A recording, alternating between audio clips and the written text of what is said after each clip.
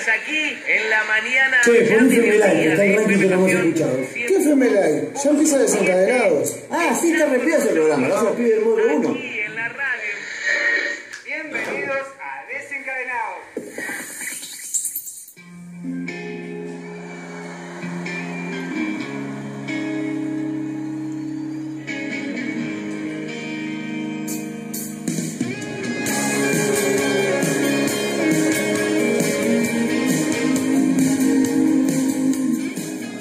Bienvenidos a Desencadenados. Hoy 4 de, ago- 4 de agosto, Sí, 18 de agosto Bueno, bueno. de 2023. inflación. Por la inflación fue esto. De 2023, siendo la 1 menos 5 del mediodía, damos comienzo a un nuevo programa Encantador. encantador en la mesa esta, justo junto a mi amigo Loso, ¿Cómo le va? mi amigo Juanchi. ¿Qué tal? Buenas tardes a todos. A Pablo. Bienvenidos. ¿Quién les habla, Pablo? Bienvenido Pablo. Gracias, gracias. ¿Cómo estamos hoy? Bien, bien, Bien. Pasados por agua. Pasados por agua. ¿Qué manera de caer agua? Qué manera de sacar agua. Y de sacar agua. Sacar agua. Les quería contar en el salón de visita ayer saqué agua, el secador lo fundí, Y de acá ni te cuento. fundido lo saqué. ¿Cómo te la teatrito, cintura? la cintura. La Sacar agua cintura. sin parar. Le vamos a pedir al Estado si nos pueden mandar unas zapatillitas. O sea, O una, Una o bota de una bota. Una bota. No, los chiquitos tenían botitas, ¿eh? ¿Cómo estaban los dos? Los dos con botitas, ¿eh? Me dejaron. Bien, bueno, bien. Bueno, queríamos recordar que nos pueden escuchar de nuestro canal de YouTube. Que como Defensoría del público, no del pueblo, del público. Barra desencadenados.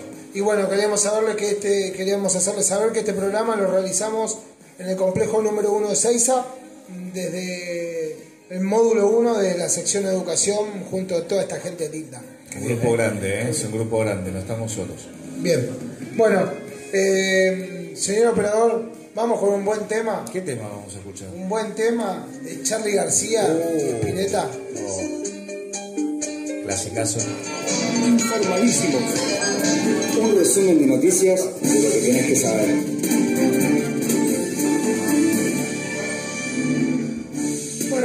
Acá vamos con informadísimos. Qué sorpresa. ¿eh? Qué sorpresa, oso. Vamos a contarle a la audiencia que en la última reunión de producción se decidió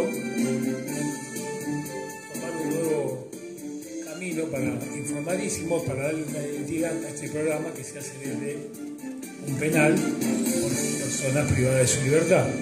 Entonces, a partir de hoy, no es 4 de agosto, sino que es 18 de agosto, 18 de agosto de la 2023. información que se va a la vez de situaciones Y problemáticas de acá adentro.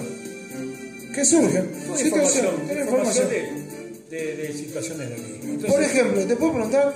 no, Ah, bueno. ¿Qué tenemos? ¿Qué, bloque. ¿qué preparaste? No acepto preguntas. ¿Qué preparaste? Entonces, Las preguntas las hago yo. para hoy vamos a dar una información que consideramos muy importante y muy gratificante, dado que el domingo es el día de... La niñez. No, vamos bien, es el día del niño. Se reconstruyó esa identidad para que sea mencionado como el día de las infancias. Exactamente. Entonces, Positivo.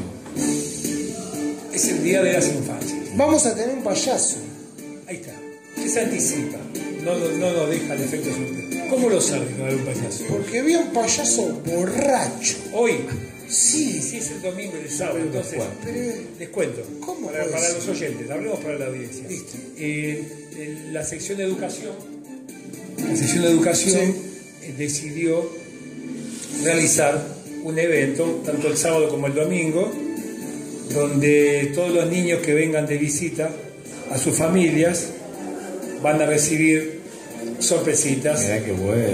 que va a ser un, un muffin, una trufa, un juguetito, Sí. Qué va a lindo. haber un Qué payaso, como usted dice. Sí. Entonces, todo se confeccionó desde acá, el curso de pastelería con la señora Lorena y los integrantes, nuestros compañeros, Ah, produjeron los muffins, Oh, qué las trufas.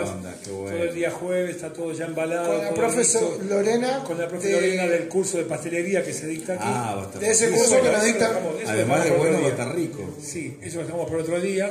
Y acá está la señora jefa de educación, la señora Nilce, por favor, Hola, si puede pasar, que la vamos a consultar de todo este evento Estamos con el evento de.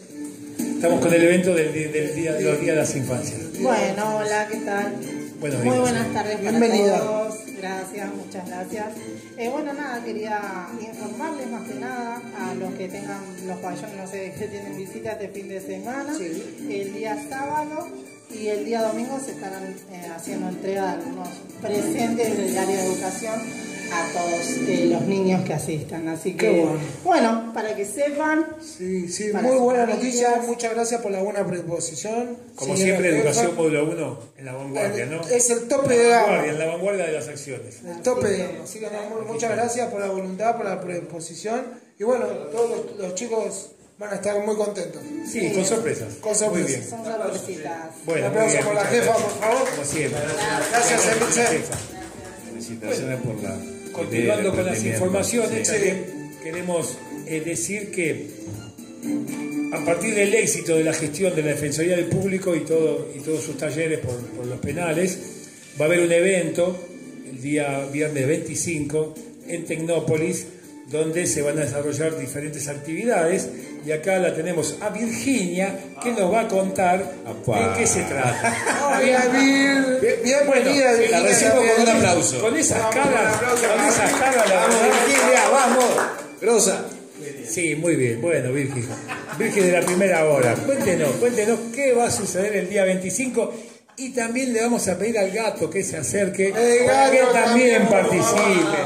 Están los dos, por favor. Por favor, ahí están los dos, que cuenten. Yo les voy dando el pie para que puedan contar. Empezamos con Virginia y su alegría por este momento, ¿no? Sí, bueno, gracias, eh, buenos días a todos, a desencadenados. Qué raro estar acá, me parece rarísimo. Eh, Antes que nada, quiero, quiero presentarlo. Virginia ocupa un cargo en la Defensoría del Público de Vaca y Gato. Quiero que se presenten y digan lo que hacen, ¿no? dale, dale, en dos palabras. Somos integrantes de la Dirección de Capacitación y Promoción del organismo y venimos desarrollando desde hace unos cuantos años una línea de trabajo específica que se llama la comunicación desde adentro, cuyo objetivo principal es promover experiencias de comunicación en contextos de encierro de todo el país. Entonces, en relación con la consulta de hace un ratito, este viernes 25 de agosto estamos organizando en Tecnópolis una jornada que se llama La cárcel se hace radio, jornada por el derecho a la comunicación, cuyo objetivo es eh, dar cuenta y promover experiencias y compartir experiencias de comunicación en contextos de encierro de todo el país. Por supuesto, Desencadenados va a ser parte de la programación de ese día, la modalidad es de una radio abierta. La Defensoría del Público tiene en Tecnópolis, en este momento está en Tecnópolis un tráiler, un estudio móvil de radio y de televisión. Entonces desde ese estudio se va a llevar adelante esta jornada. Eh, nos están compartiendo materiales de experiencias de comunicación de todo el país, lo estamos organizando, armando la grilla y dejo alguna cosita más para que les cuente Gastón también. Contando la zona, a ver quién, quién ¿Hay es. preguntas? Sí, eh, ¿quiénes van a llevar adelante el programa? Bien, justo lo que iba a contar, pim pam pum. Eh, tenemos grandes conductores que han salido de este programa, porque este programa genera ¿no? O sea, celebridades. de- de este- bien. Genera De- de celebridades. todo este taller que empezó De el año este pasado, taller ¿no? de- va a haber Qué desencadenados grosso. presentes en carne y hueso. O sea, desencadenados en los dos sentidos, tanto en, la- en la, Exacto. en- en la ejecución del programa como en, libertad. ya, en ¿no? libertad. Qué bueno eso, ¿no? Eh, compañero Cristian, que lo conocen. Bien, eh, un gran locutor del compañero primero. Iván. Eh, un- otro gran locutor. otro locutor. Eh, estamos viendo si viene alguno más. Bien. Vamos a ver si podemos llamar por teléfono para hablar con ustedes. Eso, esa, esa- esa interacción, ¿cómo, cómo se va a desarrollar? ¿Qué- ¿Cuál es la idea? Estamos ahí viendo, ultimando detalles. Llamar, eh, llamar No es por fácil, no es teléfono. fácil. Exacto. Sepa la audiencia que no es fácil Exacto. hablar con los presos, ¿no? Necesitamos permisos, todo lo que es el permiso Pero judicial. está bien, está bien, me parece bien, que, sea- que se mantenga bien el Pero orden, ¿no? De alguna forma, salga o no salga ese permiso, van a estar súper presentes. Eso está Bueno, bueno. buenísimo. ¿Y Sí. dónde se puede escuchar ese programa? Va a ser en vivo, Bueno, ¿no? se está también, estamos ultimando detalles para que salga en el, en el YouTube, en la página de la Defensoría, defensa del público.gov.ar. Eh, así que bueno, eso. Y si no sale en vivo ese día, el viernes 25 a las 12 del mediodía, se graba y se sube después. Se sube al- al- como desencadenado. por todo así. el mundo. O sea, va a ser desencadenado desde Tecnópolis. Exacto. O sea, va a estar en la grilla de programas que tenemos ya. ¿Este es el octavo programa ya? ¿Que está grabado? Noveno. Noveno. Bien, o sea que va a ser el Hoy es décimo. el noveno. El 10, bien. Ponele. Bien. Más amplio que desencadenados. Porque lo bueno, como contaba Vir, es que va a haber experiencias de todo el país, de toda la provincia, incluso internacional. Hoy nos llegaron producciones de presos de Ecuador. Mira qué bien. Sí, sí. Así que también va a estar bueno. Buenísimo. Eh, a partir de este evento en Tecnópolis, a partir de este evento en Tecnópolis, eh, creemos la posibilidad que se va, se va a ampliar la audiencia, ¿no? ¿Cómo lo ven eso? ¿Hay mediciones? Hay mediciones de la audiencia eh, y tenemos lo que serían las reproducciones en YouTube. Bien, bien, van Eh, creciendo. ¿Cómo yo queremos no, saber? no traje esa info, no, no lo preparé, Nosotros la verdad. Me agarraron de sorpresa. esa- nos estaría pero, costando. pero estaríamos Sí, pudiendo hacer una estadística. Sí, podemos pedir para que vea la sí. audiencia cómo va creciendo. Sí. Todos mandándole saludos ya a la audiencia, que no le Sí. mandaron saludos a nadie hoy. Sí, Me bueno. dejaron la audiencia sin saludos. Pablito, ¿tenemos para mandar saludos? ¿Querés saludar vos? Sí, tenemos para mandar saludos. Em, A Jorge, a Jorge de- del- del Chaco, a, Robertito de Chaco, Mendoza, a Juan de Córdoba. de Chubut, a Dublín, como siempre que nos escribe Bien. España. Eh, tenemos para escuchar a. Un saludo a Miguel, a Miguel el coordinador, A que nos Miguel. está mandando que dice que cortemos. Que no moleste, Miguel, este es el mejor lugar. Y hay muchos más. Hay muchos Bien, más, bien. Se nos va el programa y tenemos Sí. muchos más segmentos. Gracias, muchos. Qué lindo, qué qué contar con las palabras de ustedes. eh. Que- favor. la voz Aquí de Gastón, qué bien. eh. necesita un Divina, lo mejor que tenemos. Por favor. Nadie igual, eh. Chicos, son unos grosos. Miguel, vamos a pedir su remoción. Sí, cambio de gobierno, cambio de coordinador, pedimos. ¿Va a haber elecciones para el programa? Eh, Tiene que haber. Sí, Tiene supongo. que haber, hay que Tiene que hacer haber. lista, lista de Sí, candidatos. tenemos ese derecho. Se pueden candidatear, ¿eh? Tenemos ese derecho. ¿Qué tal, Gastón? ¿Cómo le va? ¿Bien? Bien, bien. Bueno, vamos. vamos por favor, señor operador, con, un- con un temita, con un buen tema, por favor, señor Gustavo. mirándote a los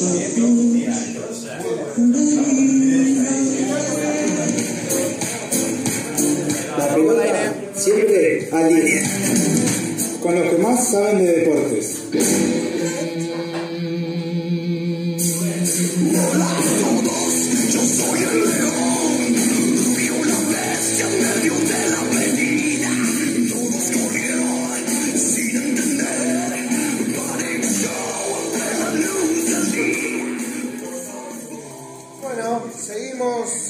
Programa, siendo una y nueve del mediodía. Vamos con un gran segmento que inauguró el programa pasado un compañero nuestro. ¿Cómo estás, Rodolfo? ¿Cómo estás, este Corrito? Un placer estar acá y ponemos en contexto a, los oyentes, a los, a los que nos ven, de que tienen que seguirnos por la red eh, YouTube, eh, la Defensoría del Público, barra desencadenados, y nos pueden seguir a través de las redes y ahí también com- compartir en las diferentes Que nos redes dejen comentarios, likes Claro, que nos dejen comentarios y a la vez compartan con, sus- con sus contactos también. eh. ¿Qué nos trajiste esta semana? Porque hubo fútbol esta semana. Hubo fútbol. Hoy hay un partidazo. Exactamente. Racing Boca. y este Y bueno. Unión Racing. Hoy, hoy, hoy arranca, arranca hoy el es un torneo. día clave. Pero como el tiempo es tirano Sí. en la radio, voy a ser lo más expeditivo Por posible. favor, por favor. Eh, ya se definió los cuartos de final de la Copa Sudamericana, donde van a participar en los partidos de ida Corinthians Estudiantes. Corinthians este, recibe Estudiantes y el 29 del 08 Estudiantes recibe a Corinthians. Botafogo juega con Defensa y Justicia el primer partido de visita. La Liga de Quito con Sao Paulo y América Mineiro contra Fortaleza. Estos son los primeros cruces de la Copa Sudamericana. En la Copa Libertadores 2023, en los, en los cuartos de final, Bolívar define con el Internacional que dejó fuera por penales a River. Boca recibe a Racing en el primer partido. Ese estamos esperando, ese estoy esperando Eh, yo. Deportivo Pereira con Palmeiras, uno de los grandes candidatos a esta, a esta Copa Libertadores de Palmeiras, un equipo que viene de abajo. Y Fluminense con Olimpia de Paraguay. Olimpia de Paraguay, el equipo sorpresa, el equipo que dejó fuera a Flamengo con San Paoli, con toda la constelación de estrellas. Los partidos de vuelta son la siguiente semana, donde Racing definiría de local en el estadio Juan Domingo Perón, donde después del partido de Boca, y la Copa de la Liga que arranca hoy día. Hoy día arranca la Copa de la Liga con dos zonas, zona 1, zona 2. En la particular que en la zona 1 están los equipos que están comprometidos con el descenso. El partido de ayer, ayer arrancó el torneo, donde Belgrano de Córdoba venció 2 a 1 a Estudiantes de La Plata. Hoy, hoy día juega Vélez, este, Barraca Central, Argentinos River el domingo, partido de las 9 de la noche, Arsenal Instituto, un partido por el descenso, Rosario Central Atlético de Tucumán, Huracán Banfield, partido también por el descenso, Gimnasia La Plata Talleres, de Córdoba, Independiente Colombo, un partido también por el descenso. Puede ser unos cuantos se nos Sí, vayan, ¿eh? y la particular que en la zona 1 están los equipos que están más comprometidos con el descenso. Y en la zona 2, Sarmiento de Junín versus Tigre, Boca Platense hoy día a las 21. Eh, Defensa y Justicia Godoy Cruz, Newell's eh, eh, Central Córdoba de Santiago del Estero, Lanús San Lorenzo. Acá, acá el oso tiene, va a hinchar por, por el equipo Cuervo, Belgrano que ayer ganó 2 a 1 estudiantes y Unión Racing hoy a las 7 de la noche. Y después tenemos una sorpresita. Arranca el 7 de, de septiembre, arranca la eliminatoria para el Mundial 2026. Ya tenemos el picture. Bien. Los primeros partidos. Paraguay-Perú, 17 y 30 horas. Escuchen que esto es muy importante, ¿eh? Estadio Antonio Aranda de Ciudad del Este. Colombia-Venezuela juegan en el Metropolitano Roberto Meléndez de Barranquilla, la capital del Carnaval. Bien. Argentina-Ecuador a las 21 horas en el Estadio Monumental de River Plate, totalmente remodelado por 90.000 personas. El viernes 8, Uruguay recibe en el Monumental, en el Centenario, a Chile y Brasil recibe a Bolivia en el Estadio Olímpico de Opara de Mangueirao en Belén, en plena Amazonía. Ajá. Y la segunda fecha, el martes 12, Bolivia recibe a Argentina en el Hernando Chile de La Paz, a 3.200 metros sobre el nivel del mar. Ecuador recibe a Uruguay en el Estadio Olímpico de Atahualpa, también en altura. Chile recibe a Colombia en el David Arellano, no el Monumental, sino el Estadio Monumental de Colo Colo. Perú recibe a Brasil en el Estadio Nacional a las 23 horas y cierra la fecha Venezuela-Paraguay en el Estadio Monumental de Maturín. Después tenemos también un costo excesivo en las entradas. Subieron las entradas. Quieren asistir a, la- a los partidos de primera, de la primera B y de todas las categorías, hay un, un incremento sustancial de las entradas. ¿Tenemos promedio de precios? Te lo voy a decir. Arranca de 3.000 a 4.900 en la primera. Sí. La primera nacional de 2.000 a 3.500, la primera B de 2.400 a 3.200, la primera C de 2.000 a 2.900, la primera D de 1.250 a 2.000 y el fútbol femenino, acá oído para las chicas, de 2.000 a 3.000 pesos. Así Bueno, que pero saladita fútbol- al futbolero le gusta y El futbolero la paga. junta y la Si paga. hay, que, si hay que vender la tablet, hay que vender la, la computadora, se ven y nos vamos a la Todo sea por el equipo que uno tiene por Y pasión. después las notas de color. El Juventus, la bella señora, fue excluido de participar en la UEFA, entonces en la conferencia de las ligas, por no haber cumplido el play financiero.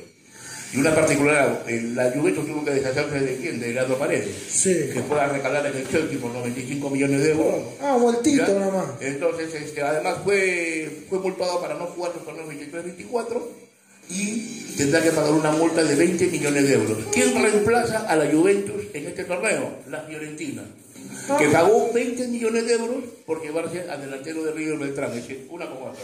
Sí, uno uno como- desembolsa en multa y el otro desembolsa para llevarte un delantero. Espe- espectacular. Después, una noticia. ¿Te gusta la carrera de autos? Oh, me encanta. ¿Eres fierrero? Sí. Bueno, vas a tener la oportunidad este domingo de ver a quién, a Canapino. Regresa Canapino. el Teta campeón a correr el turismo carretera en el, en el Galvez.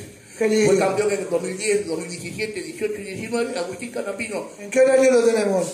Comienzan a las 10 de la mañana. Sí. Desde el sábado comienza Sí, la sí, sí, sí, sí. La precalentar y todo. Confirmó su participación. Ojo, Canapino viene de hacer una buena campaña en el IndyCar. Sí. Una, una categoría mucho más rápida que la Fórmula 1, mucho más económica. Ojo, las entradas, las entradas para el, para el IndyCar no bajan de, de mil dólares para arriba. No, no, como y, y para verla por el, por el par per view también son precios exorbitantes. Tenés mil dólares ahí nomás para, Sí, comprar cuatro o cinco entradas. Es un sencillo. Ah, bueno. Muy sencillo. Después, este, al, final, al final de su, su participación en el Superveloz IndyCar, la última carrera que fue en Nashville, en tenis, y corrió este, Canapino, que décimo tercer lugar, y ya confirmó su participación con un Chevrolet de diseño del JP Carreras. Eh, va a correr con el número 78, los colores del monoplaza, es el mismo color que usa en el Indy, que es de la franquicia Juncos Hollinger Racing. El argentino Leonardo Juncos es un co- copropietario de la franquicia y los colores son verde y negro. Hay una remota posibilidad de que también vengan a correr los pilotos del IndyCar Scott McLaughlin, quien está quinto en la clasificación, y el ibérico, el español, Alex Palau, el líder del torneo. 70 autos largarán este fin de semana del Autódromo Galvez en la capital federal el 20 de agosto del 2023. Y esta madrugada se juega también la final del fútbol femenino. La final, ¿quién la va, la va a definir? España e Inglaterra. Eh, Inglaterra que va por el, por el bicampeonato en, este mundial, en este mundial femenino. Y mañana, mañana la novedad. Mañana juega el, In- el Inter de Miami. Eso te va a preguntar. ¿qué- Decimos Messi y sale sonrisa para todo el mundo. Acá hay noticias para todos. Messi es es como sonrisa. una tienda de niños, tiene todos los gustos los caramelos, hermano. Acá la mañana juega su primera semifinal. Ya lo saca campeón Messi. Eh, juega en Nashville, tenis, y justo donde corrió la semana pasada Canapí. Este equipo tiene, este es uno particular, este es el único equipo americano que no cuenta con jugadores argentinos. Cuenta con colombianos, panameños, hay un par de peruanos y este, dos chilenos. Eh, la ¿Cómo final lo se- ve vos? ¿Cómo lo ve eso? eh, la final será Usted que es tan futbolero, ¿cómo ve ese partido?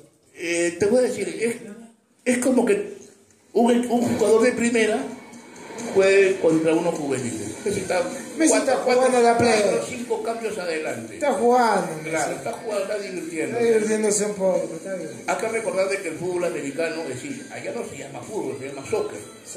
Arranquemos del nombre, arranquemos del nombre, soccer. Los, los gringos son muy especiales, son particulares. Desde, desde el año, el desde el año 77 están tratando de, de meter el fútbol los americanos. Hicieron el mundial, pero el primer, el primer equipo de constelación de estrellas fue el Cosmo de Nueva York. Con Pelé, con Beckenbauer, Carlos Alberto, después fue el Estrella de Nueva York, de por lado de... Pero volviendo a la pregunta que te hice yo, ¿cómo lo ves a Messi en, en- en el... Está de paseo. Está de paseo, bien. No. Juega 90 minutos y se divierte 23 horas. Así. Sí. Y va a ser su, tor- su torneo número 44 si es que llega a la final. Y hay una noticia que tengo que dar. Dígala, ¿Te dígala, dígala. el bolero? Porque ahora como está el bolero, ¿te gusta el bolero? Sí, me encantan todos los deportes. Bueno, hoy día hay noticia triste. Hoy día falleció el, el último bolerista que, que quedaba entre los panchos, el chico Novaro. Que en paz descanse. Todo el mundo canta, dice Luis Miguel canta los, los mejores boleros del mundo. Bueno, este señor canta algo contigo y este, Arráncame la vida, temas que son muy conocidos. Así que desde acá, el más sentido pesa argentino también, chico paz Fue un cantante. Condolencias a, a esa- a la familia de él.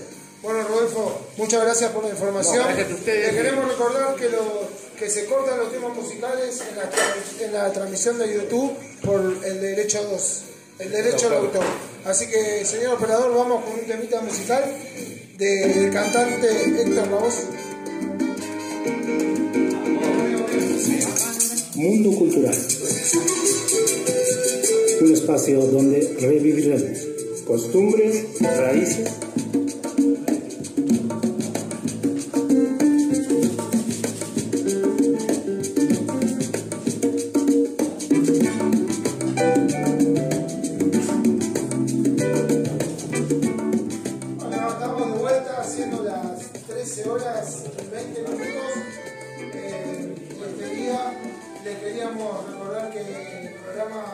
Se hace desde el complejo número 1, desde el módulo 1, desde la sección de educación. Realizamos este programa junto a nuestros compañeros. Ahora tenemos un segmento que se llama Mundo Cultural y lo va a presentar Wilder. Bienvenido Wilder, ¿cómo estás? Hola Pablo, eh, hola Pablo. Juancho. Juancho. Bueno, eh, hoy vamos a hablar ¿De qué vamos a hablar? Hola, eh, ahí está. Ah, hola, hola. No estábamos saliendo al aire, ¿qué tal? Bueno, ahora sí. Bienvenido, Wilder. Bien, gracias. Hoy vamos a hablar de Tierra del Fuego, de Tierra del Fuego, pero particularmente vamos a hablar de un lugar muy especial, eh, del- de un museo que tiene ciertas características. Ajá. Sí, pero antes voy a darles una, eh, una breve Repasadita. repasadita, sí, de, qué, de dónde es Tierra del Fuego. La Tierra del Fuego es la más joven de las provincias argentinas, Ajá. habitada desde aproximadamente 10.000 años por varios grupos aborígenes. Ajá. Los primeros europeos en explorar estos territorios fueron los marinos que, de la expedición española comandada por Fernando de Magallanes Ah, en mira. 1520. Ah, la, la. Ahí empieza la historia de este. 500 años. Totalmente. Pero termina el 26 de abril de 1990 que la provincia de entonces Territorio Nacional de Tierra del Claro, Fuego era territorio nacional, no estaba declarada provincia. Y un año después, reda- redactores en Ushuaia la carta de la magna de la provincia. La constitución provincial. Pero de lo que les quería hablar más que de la, que de la historia es justamente de la, eh, de la cárcel del fin del mundo, Ah, mira, está en Tierra del Fuego. en Tierra del Fuego. Y les comento que ahí estaban alojados el chacarero Mateo, el místico Bach, el anarquista Simón Gadovis. Ah, no faltó nadie. Y pasando por el Cayetano Santos Go- Godino, más conocido como el Petizo Ore- Orejudo. Petizo Orejudo, sí, sí. Se ve que se- seguramente han pasado unos cuantos más, pero lo que quería comentar Esos son los más célebres, los más reconocidos. A pesar de que esta calle se- es- fue cerrada entre 1930 y 1940, nosotros acá tenemos un compañero que estuvo andando por estos lugares. Opa, ¿es un fantasma? Bueno, no es un fantasma, pero habitado, ha ido a visitar y le voy a presentar a un, eh, le voy a presentar a un compañero, Ajá. Ricardo, nos va a comentar un poquito las anécdotas. La experiencia de haber pasado por ahí. Exactamente. Qué bueno. Bienvenido. Hola Ricardo, ¿cómo estás? Hola Wilder, Pablo y Pablo. Eh, gracias por la invitación a compartir este espacio. Bien, eh, quería que nos cuentes un poquito la experiencia, eh, en qué circunstancias fuiste a visitar la cárcel del fin del mundo. Bueno, yo creo que quien visite Ushuaia no puede perderse esa atracción, la cárcel. Porque De, de visita. como visita, Como un museo. es un museo, ha sido reconvertido a, a un museo, han aprovechado la arquitectura del lugar, una cárcel clásica de esos años, basada en el panóptico, con una torre central, un cuerpo central y los pabellones radiados. Un pabellón lo dejaron tal cual era en el momento en que alojaba a los internos. Se pueden visitar las celdas. Es una cárcel clásica. Sí, te sí, diría. sí. Como se ven las películas. ¿Cómo se ven las películas? ¿Cómo era la cárcel de Parque Las Heras? Este, Yo tuve los dos. No. Acá, Yo no. Ricardo, La del Parque Las Heras. Ah, la parte de esa. Ya no, no quedó nada, ¿no? Pero quiero decir, eran pabellones de forma radiada con 50 este, celdas, planta baja, planta alta, cada celda unos 10 metros cuadrados. Podés ingresar a la celda, hay un maniquí Sí, sí. con, con el, eh, la vestimenta de época. Sí, para que uno tenga una idea un poquito más aproximada. Claro, te puedes sacar una foto con el maniquí. Después, Después, decí whisky.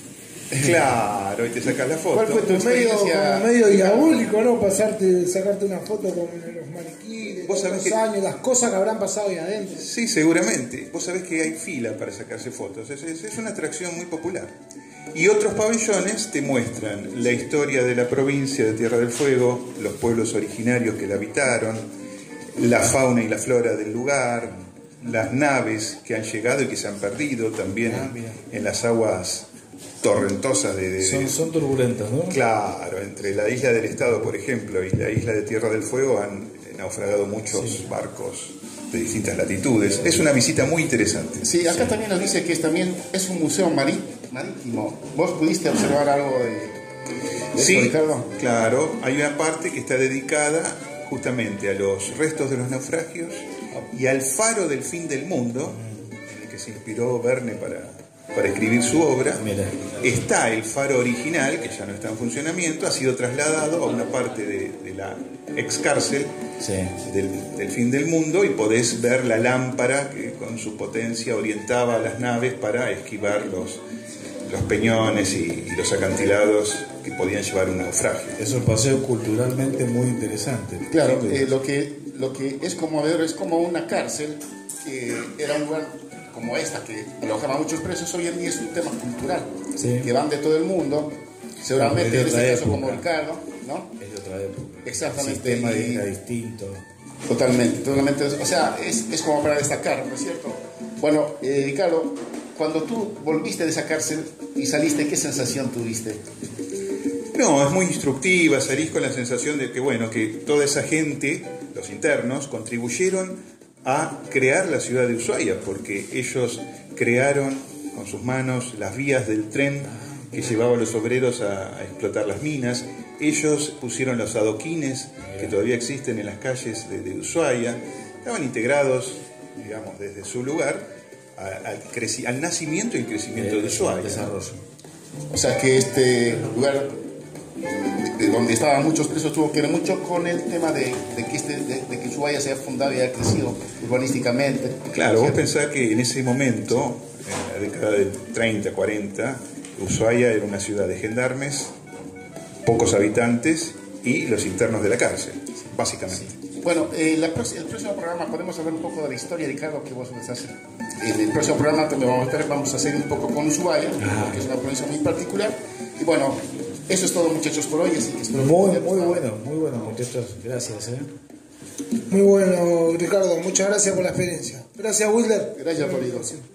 Eh, por favor, ¿Vamos a señora escuchar algo nosotros acá? ¿Podemos escuchar un temita? Vamos a musical? escuchar Malo bebé. Malo de Bebe. Malo bebé. Bebe, sí, Para sí. una noche fría,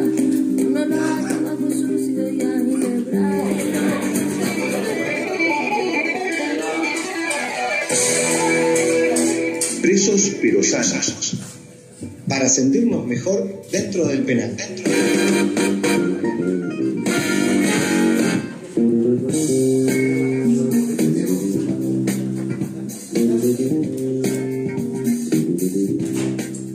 Bueno, siendo la una y media del mediodía, 13.30. Juanchi, 13.30 estamos. Seguro se nos va el programa, ¿eh? Mucho frío. Este, Mucho frío. Repetimos la fecha porque, eh, como lo pueden escuchar a cualquier hora y cualquier día del año, Hoy es este, estamos en invierno, 18 18 de de agosto. agosto de No sé la 2023. temperatura, porque no tenemos un televisor Nos cerca, pueden, bajó nos pueden escuchar por nuestro canal de YouTube, Defensoría del Público, barra desencadenados. 13 grados. Y Hay sol. 13 grados, sol, Sí. un poquito de viento, pero estamos bien. Sí. Lo más bien que estamos, que estamos con un segmento ¿Cómo podemos hacer para.? Estamos bien. ¿Cómo hacemos para estar mejor? para estar mejor. Con este segmento que se llama Presos pero Sanos, que nos lo presenta Ricardo. Bienvenido, Ricardo. Bienvenido Ricardo, buenas tardes. Muchas gracias, Pablo.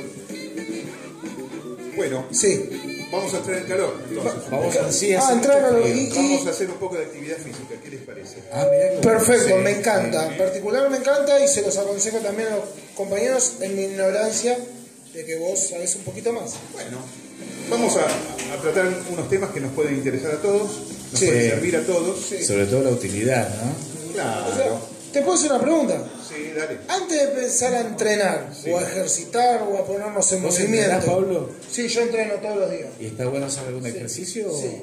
Ricardo, Yo tengo ¿alguna mis previa? ejercicios como una forma de decir personales, Sí. pero se lo quería preguntar al doctor Ajá. porque tenemos un médico Ajá. y quería, antes, antes de empezar a, de- a entrenar o, o- o a, a entrar en, en movimiento físico, ¿qué tenemos que hacer? Bueno, ante todo para cuidar tus músculos, articulaciones, ligamentos que están fríos, antes de empezar a trabajar, tenés que calentarlos. Sí. ¿Cómo los calentás? Bueno, movimientos progresivos, de a poco, cada vez más intensos, antes de entrar en la actividad física plena. Claro. No de golpe. Claro, o sea, como te escuché decir algo, puede ser moderada e intensa. Bueno, eso ¿Qué es... ¿Qué es esa diferencia Ahí para está. los que no se Ahí saben? está, bueno. Esto lo recomienda la Organización Mundial de la Salud, hacer actividad física, tanto moderada como intensa.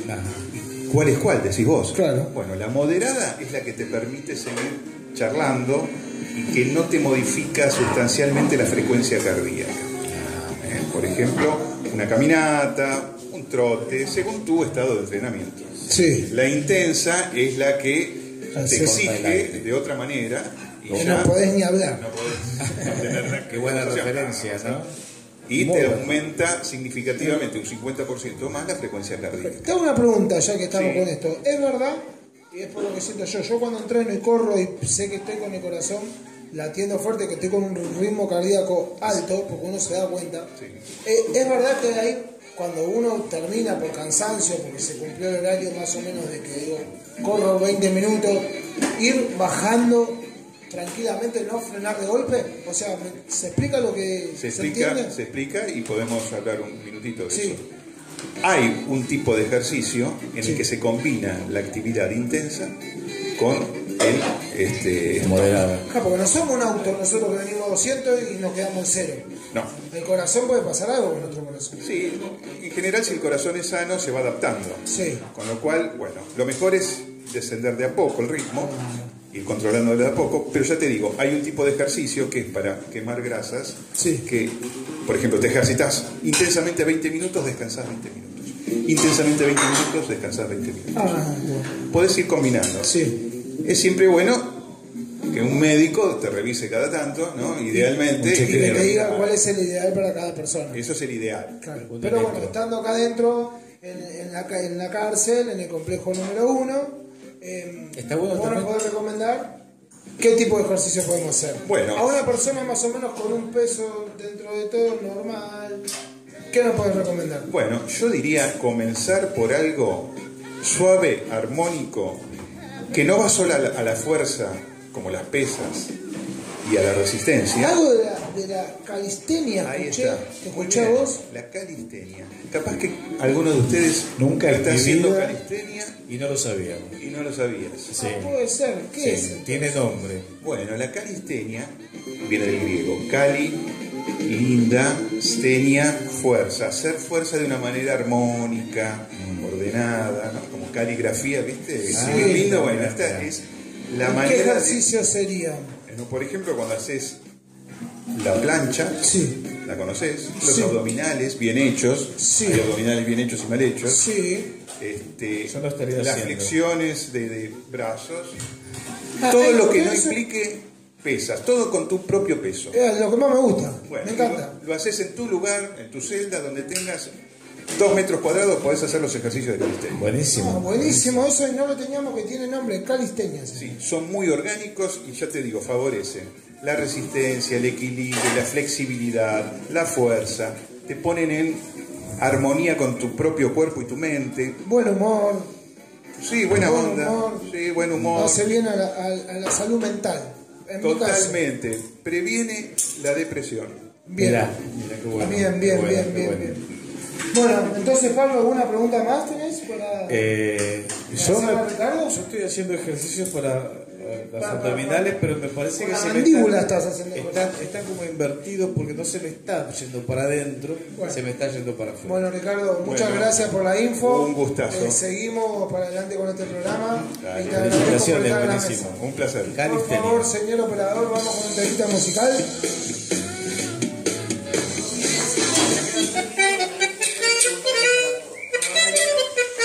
Con la lupa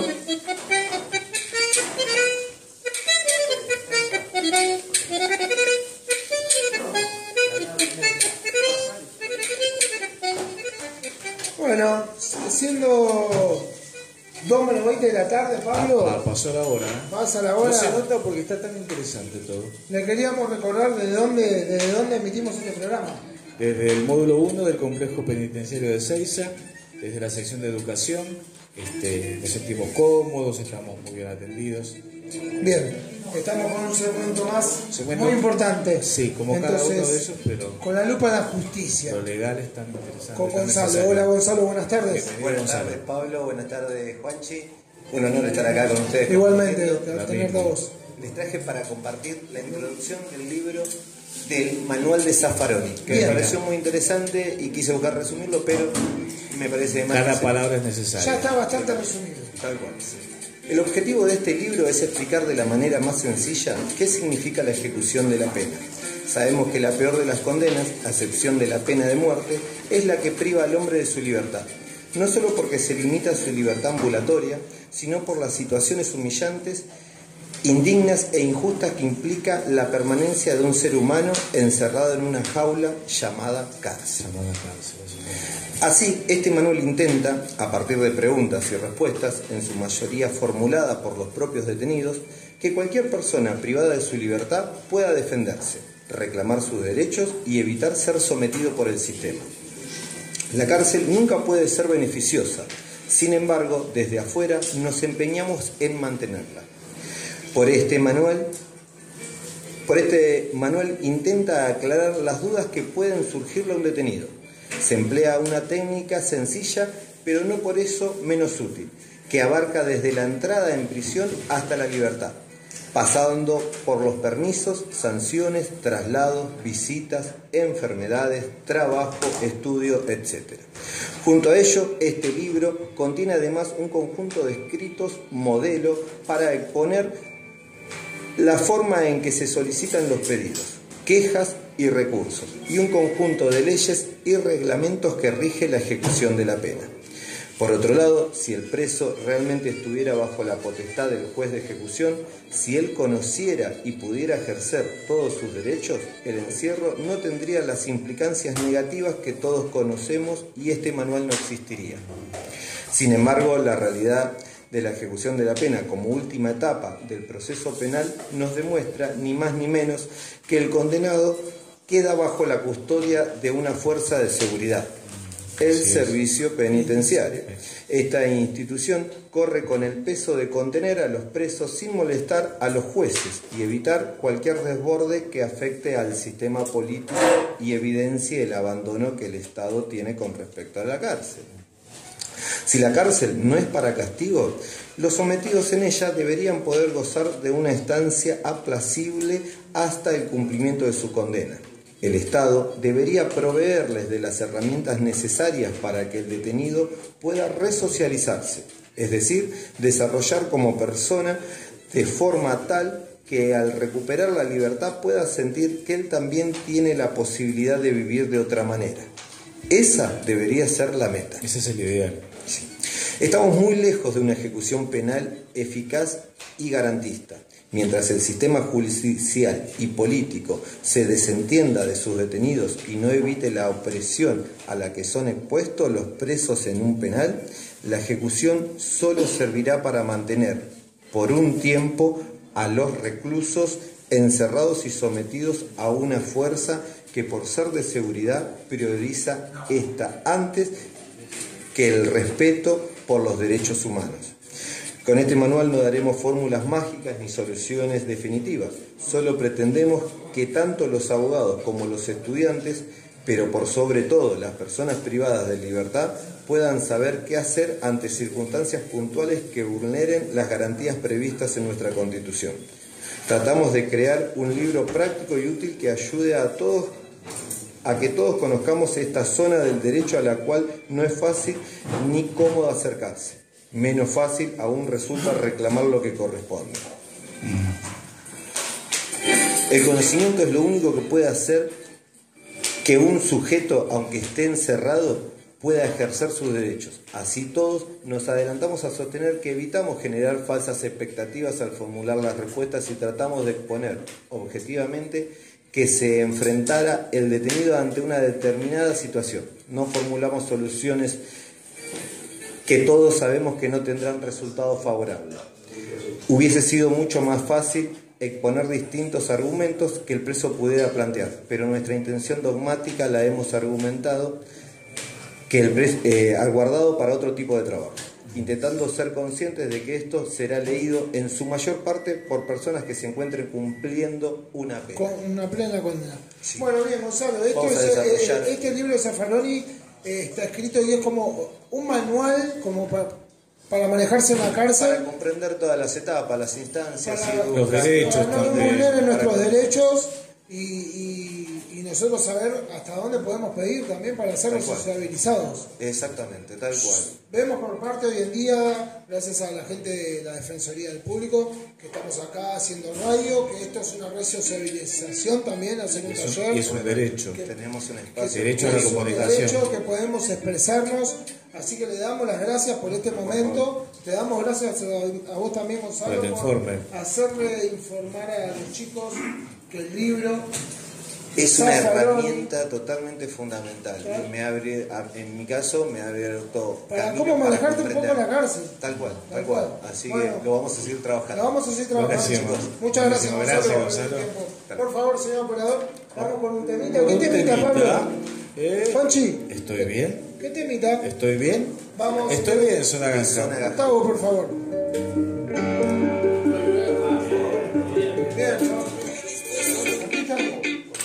del día, conociendo la obra de artistas incluyentes.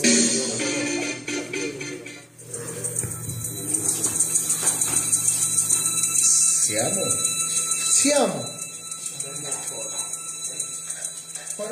102 menos cuarto del mediodía 18 de agosto. 18 de agosto. Desde complejo 1, desde el módulo 1, desde la sección de votación de Seiza. Sí. Eh, damos comienzo a otro segmento, Pablo. Sí. Eh, Hoy, ahora te toca a mí. ¿Qué nos trajiste de Está lindo sentarse acá y escucharlos a ellos, pero cuando les toca a uno, más madera.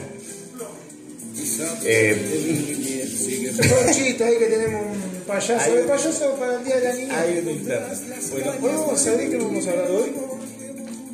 Prepárense, tenemos tiempo. Ahí El nombre es largo. payaso. Pablo, perdón. El nombre- vamos, hoy vamos a hablar de Pablo, Diego, José, Francisco, de Paula, Juan, Nepomuceno, Cipriano de la Santísima Trinidad, Ruiz, Picasso. Ese es el nombre de Pablo Picasso.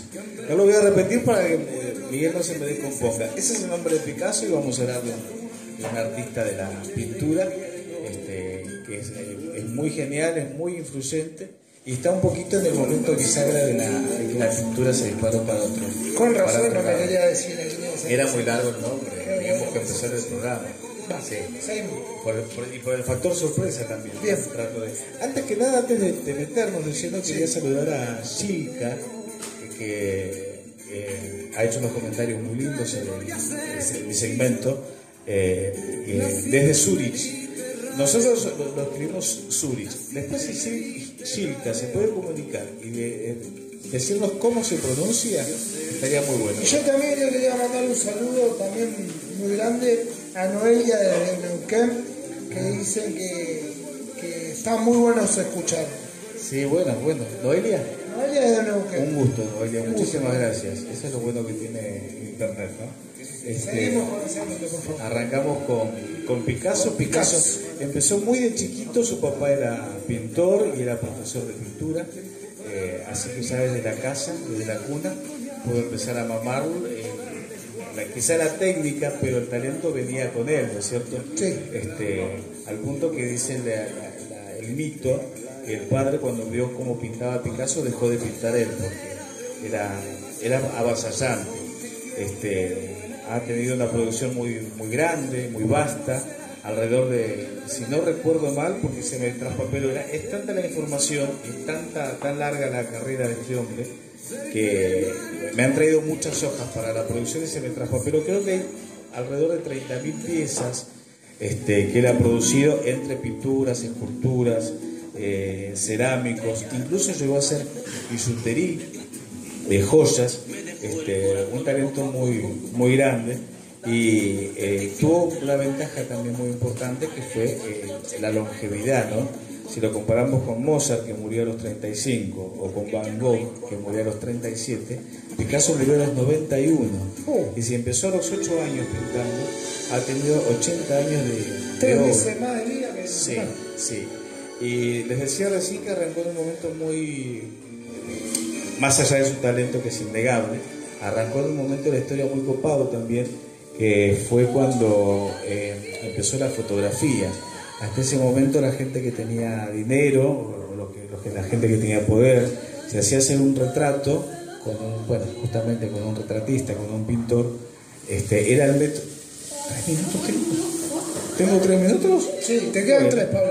Bueno, este, pero cuando vino la fotografía, los que hacían retratos tuvieron que buscar algo mejor. Claro. Y la, el giro que dio Picasso fue muy bueno, que empezó con el cubismo y con todas esas figuras que son tan raras y tan particulares, ¿no? Porque tiene una, tiene una cosa mágica, porque vos ves, eh, si lo ves de pasada, decís, esto es un mamarracho.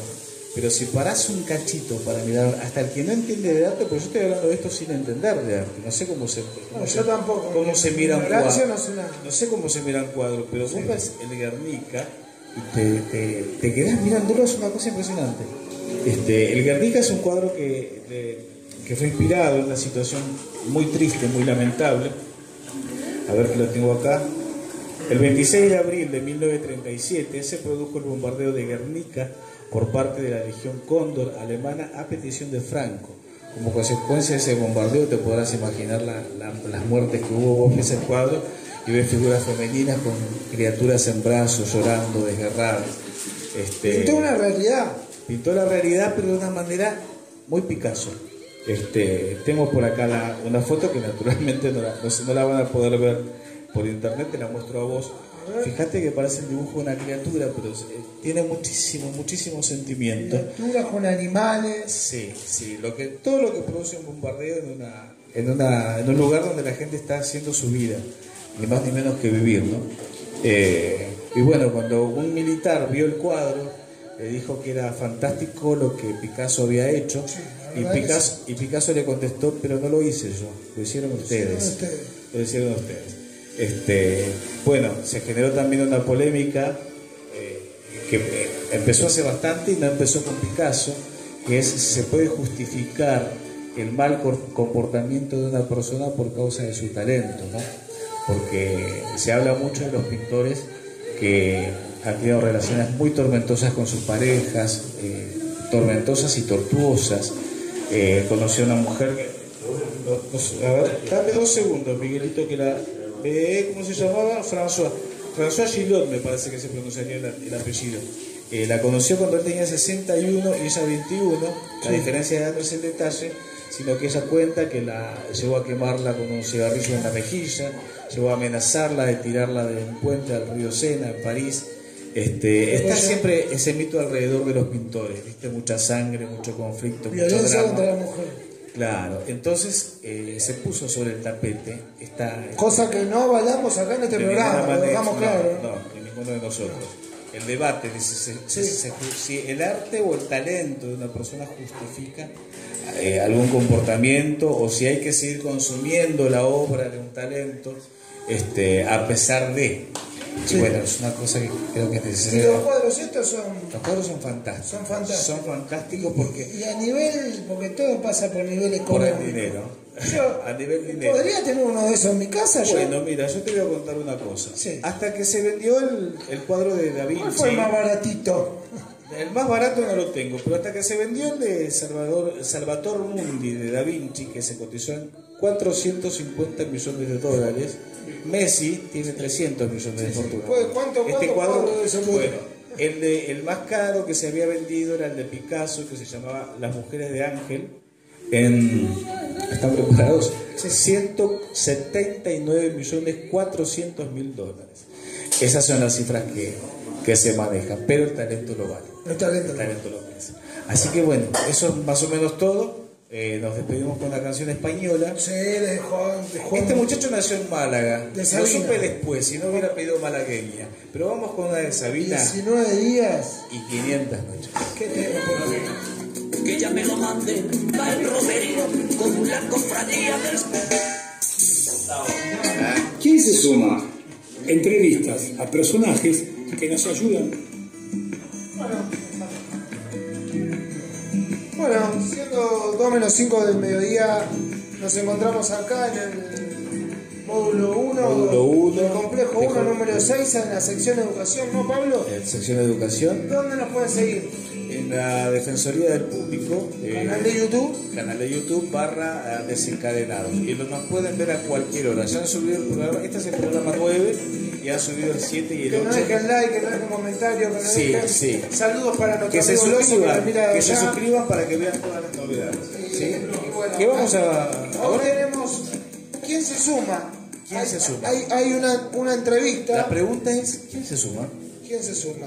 Acá lo tenemos a Adrián. Buenas tardes, Adrián. Buenas tardes, gente, ¿cómo están?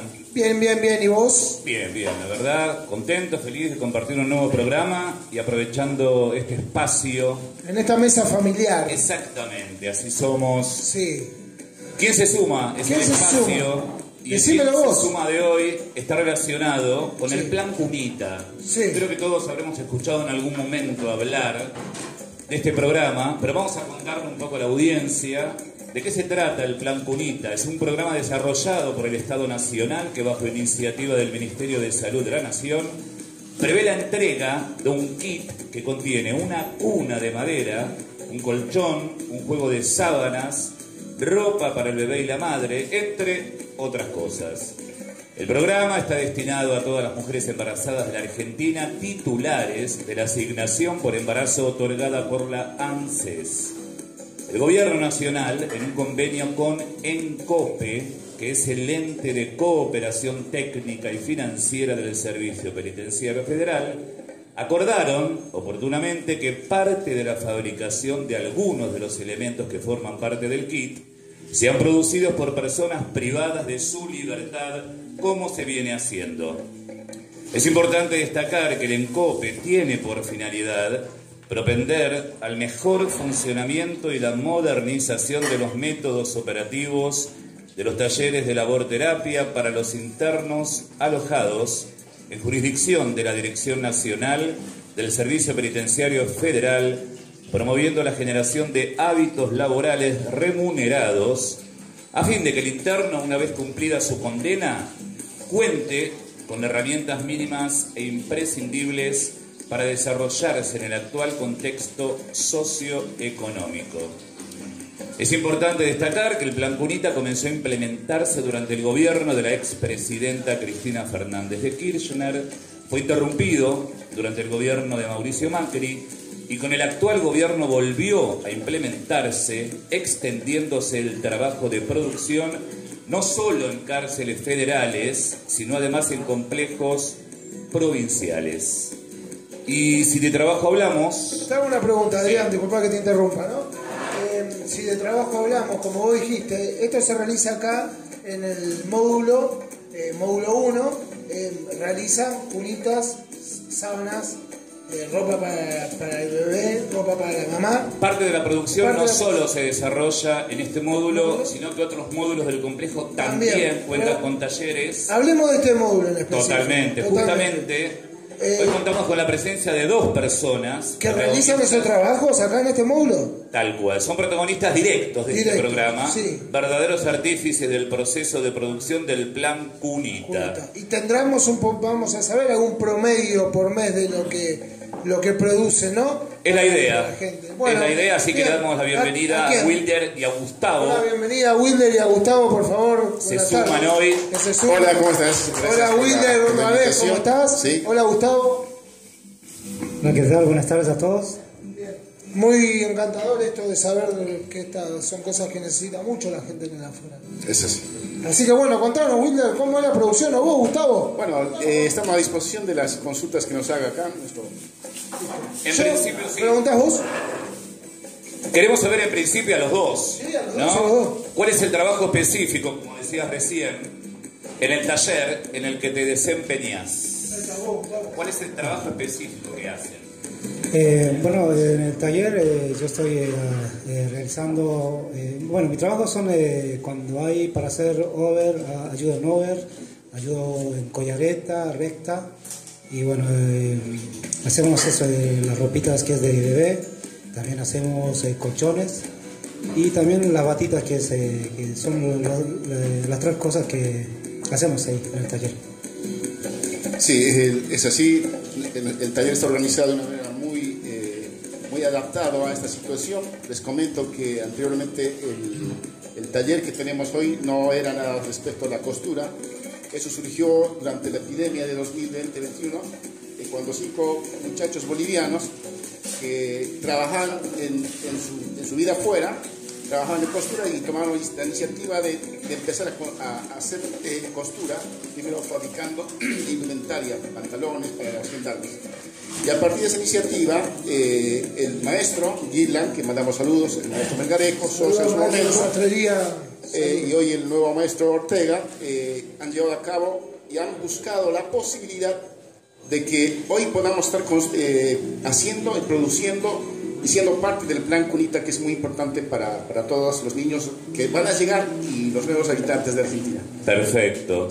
Pregunta para ambos. Antes de estar privados de la libertad, ¿a qué se dedicaban afuera con relación a la tarea que desarrollan acá? ¿Y de qué manera pudieron poner en juego los conocimientos que tienen en el trabajo que hoy realizan? Bueno, eh, yo trabajaba eh, en costura y la verdad te digo que eso me ayudó bastante aquí porque a lo que yo pienso que hay que saber siempre algún trabajo porque estando aquí eh, para conseguir un trabajo es muy complicado, ¿no? Claro, vos tenías la suerte de tu- afuera tener saber de costura y acá hay un lugar de sastrería, ya tenías noción a cómo enhebrar un hilo en una máquina y bueno, diferentes cosas, ¿no? Sí, porque en el momento cuando buscaron, me vinieron al pabellón, preguntaron quién sabe costura y bueno, yo eh, levanté la mano y bueno, me- en ese momento también me puse contento porque eh, la verdad conseguir trabajo aquí es muy complicado y también eh, trabajar en- en- cuando estás en el taller te, te sientes más, Más útil. más útil, más tranquilo, más, te sientes más...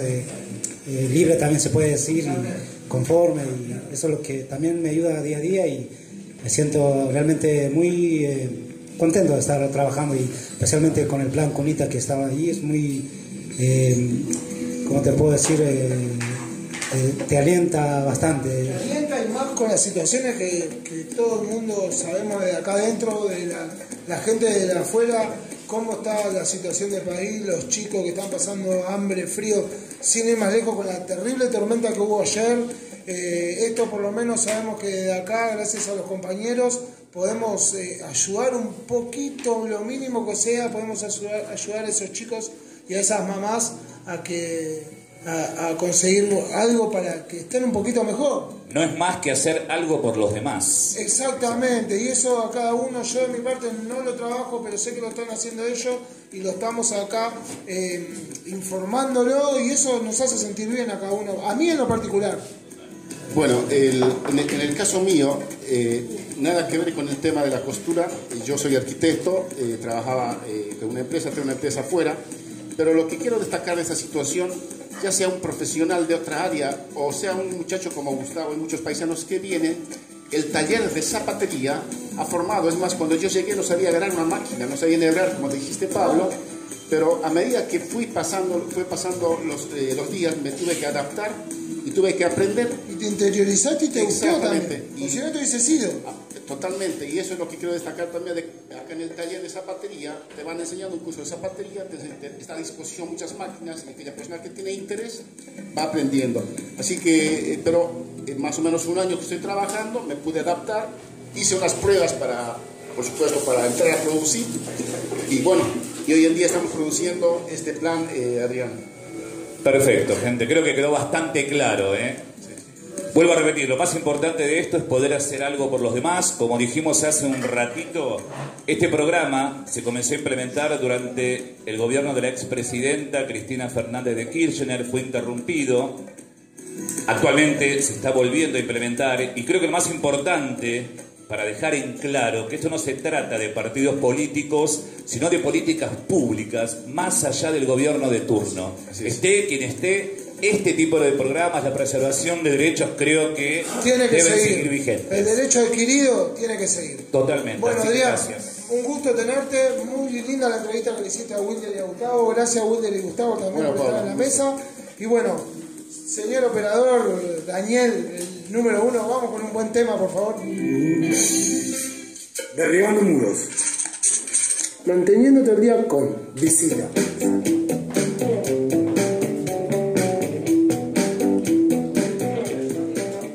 Bueno, siendo 2 y 7 de la tarde, se nos fue el programa, se nos fue el día, viernes 18 de agosto. 18. Pero nos queda una cosita muy, muy necesaria para nosotros. Queríamos hablar de este segmento de derribando muros, queríamos hablar un minutito porque se nos- no, no tenemos tiempo de una problemática que tenemos. Lo tenemos acá a Gonzalo. Gonzalo, eh, tiene- tiene que ser breve. Estamos transitando una revisión de que en el CUE no nos permiten llevar el termo, mate. ¿Qué es el CUE? El CUE es el Centro Universitario C6. Ajá. Y eh, eh, el turno es largo, ¿cómo es Sí, disponemos de, o sea, de jornadas de todo el día, ¿sí? de- podemos transitar a la mañana y a la tarde. Eh, disponemos... eh, ¿De cuántas horas hablamos más o menos? Eh, yo, por ejemplo, el primer cuatrimestre estuve desde las 9 de la mañana hasta las 6 de la tarde. ¿sí? De 9 a Transitando 18. tres materias. Y si vos estás a las 9 de la mañana, a las 6 de la tarde, y no llevas una vianda o algo para comer, allá te brindan comida. Requerís, necesitas para comer, para tomar mate, para tomar un té, un café. Mate, ¿Y te lo dan ahí? café. No, o sea, disponés de la cocina, pero vos necesitas llevarte tus cosas. O sea, la cocina la está, cocina pero hay que- chicos también que están trabajando de temprano con la comisión, con la biblioteca, con asesoría jurídica, con distintas cosas, y el espacio no es muy grande para todos. No, no, Entonces cual, yo entiendo cual. que la gente que no tiene eh, eh, el, el espacio para meterse a una de esas eh, aulas, porque ya están ocupadas, porque los chicos están trabajando también en distintas secciones, ¿qué hacen la, la demás gente?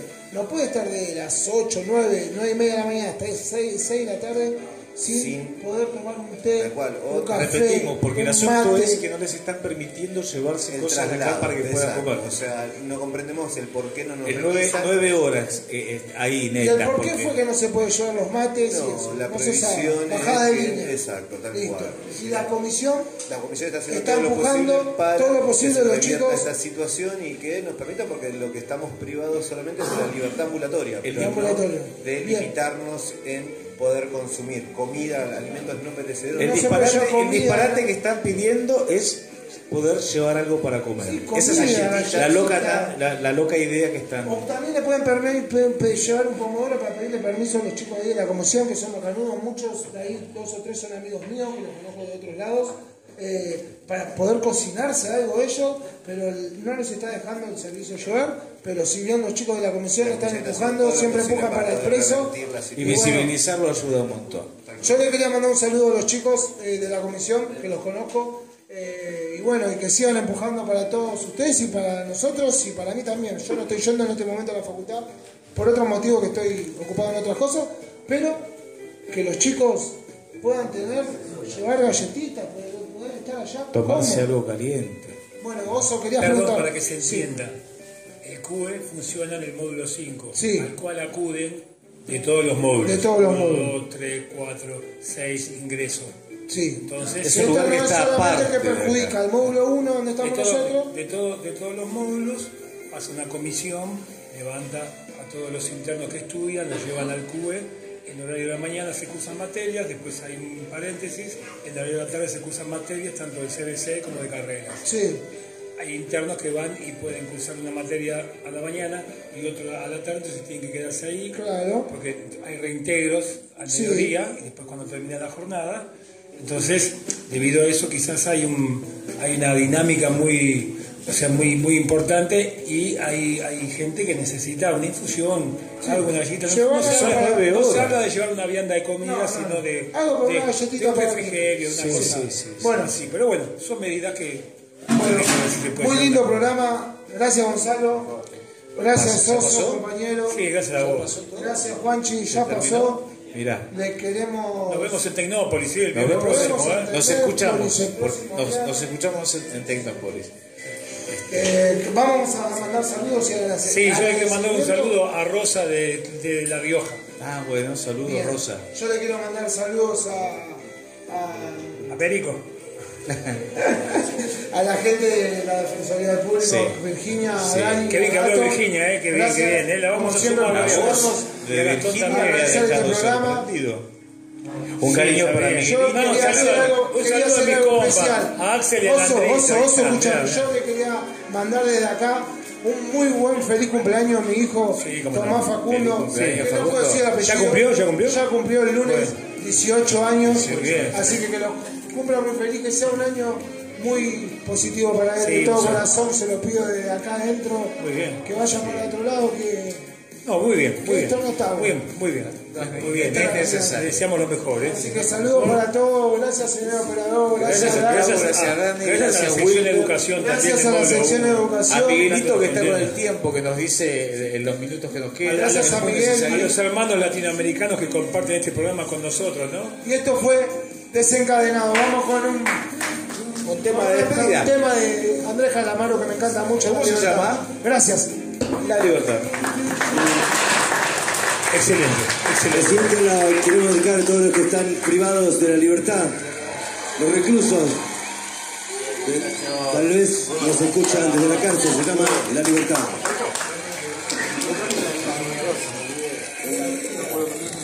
Martín.